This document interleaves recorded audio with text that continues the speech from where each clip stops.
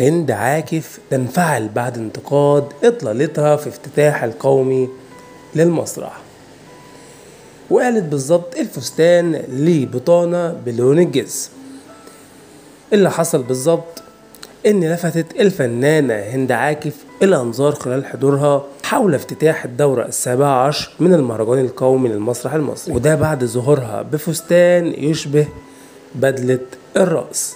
وطبعا بعد لما الصور دي انتشرت على ال social media في هجوم كبير حصل على هند عاكف وفي ناس كتير قالت إزاي تظهر بالشكل ده.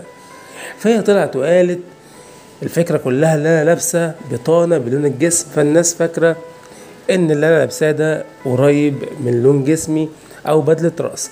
لكن في الحقيقة دي بطانة والموضوع كان عادي جدا أنتوا اللي كبرتوا الموضوع.